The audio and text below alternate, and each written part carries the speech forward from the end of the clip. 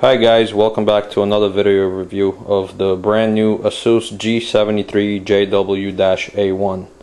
Uh, this notebook just came out early September 2010. On the front of the notebook we have a row of indication lights. We still have the classic chiclet backlit keyboard. This is an LED backlit keyboard and you can actually disable the lights by using the function buttons here. There's also a light under the screen which can be disabled. Other than that there are no lights. This notebook features a rubberized matte finish which is fingerprint resistant.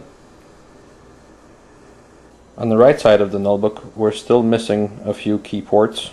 They really should have put an eSATA port and an express port somewhere over here. Uh, we have a card reader we have a USB 3 port, a USB 2 port, HDMI, VGA, and an AC jack. The rear of the notebook, just like its predecessor, sticks out about an inch and a half. On the back side of the notebook we have two radiator ports. This side would be for the video card and this side would be for the CPU. Here's the battery which is an 8 cell, roughly this will get you about an hour and a half under normal conditions. On the left side of the notebook we have an Ethernet port, a USB port, a Blu-ray player, another USB port, microphone port, headphones out jack that doubles as an optical SPDIF. You can hook up a mini Toslink for a external speakers. This is the BIOS menu for the G73JH-AW.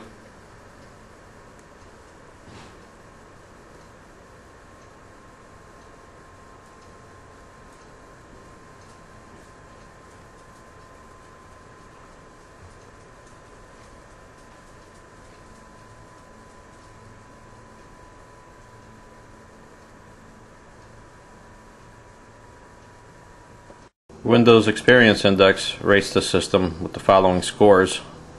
The hard drive being the bottleneck here. You can solve that simply by putting a SSD drive in, which will make most likely the CPU or video card the bottleneck.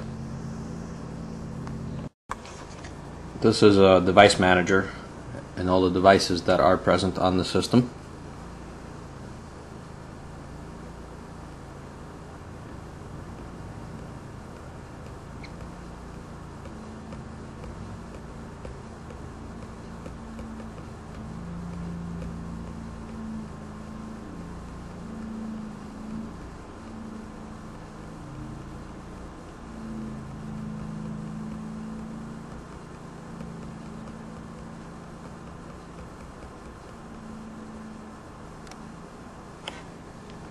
The back of the screen is also coated in your fingerprint resistant rubberized finish and has the classic Asus Republic of Gamers logo. Also in the box Asus bundles a ROG gaming backpack, a Razer mouse, driver's disc, manual, and warranty card. A uh, system recovery disc is not included but one can be purchased and also there is a hidden recovery partition on the primary drive. There's two speakers above the keyboard, one there and one here. There's also a subwoofer right under here. The touchpad here by all standards is super large. The buttons here starting from left to right first one is uh, to disable uh, the keyboard lights and uh, the light under the screen. The middle one is to enable or to disable turbo gear, ASUS's overclocking feature, and the one on the right is for Splendid Technology, uh, their video and gamma correction features. One of the folders has an option to enable 3D vision, and when you do that, you get this message. This display does not qualify for 3D vision. However, this display and video card does qualify for 3D Discover, which we'll examine later. This 150 watt power adapter is designed to power this laptop. It's a pretty big adapter. They don't really come much smaller than that at 150 watts. The sound system on the G73, like always, is phenomenal. It's powered by two large speakers above the keyboard and one subwoofer. The battery life on this laptop, needless to say, leaves much to be desired. This, of course, was expected. The total weight for this laptop comes in just shy of 9 pounds. After 10 minutes of running Furmark, the system caps out at the following temperatures.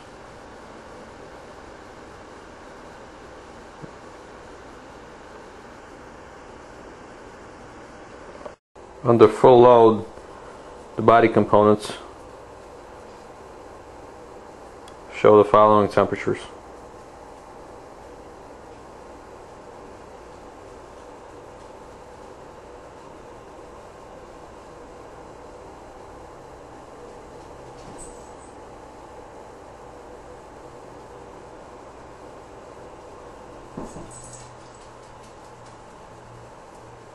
The palm rests remain relatively cool. The screen's wide view angles are pretty good from left to right even from the top but from this angle not too good. The G73JW is powered by the NVIDIA GTX 460 with 1.5 gigs of VRAM. It is also powered by an Intel Core i7-740QM processor. You'll find that all the other specs are displayed on our website and linked in the YouTube video. Right now this is just running some benchmarks.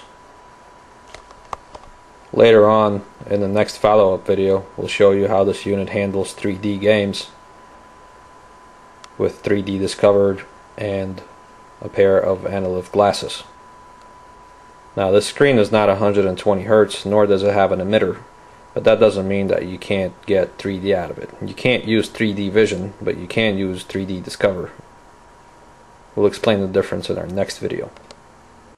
The function buttons here are starting with F1 is sleep, wireless on off toggle switch, keyboard brightness, LCD brightness, external display, touchpad disable, volume controls. This button, function plus spacebar, helps you control ASUS's Power4Gear to save battery life and increase performance. These buttons control Splendid technology and camera that's integrated into the top of the display.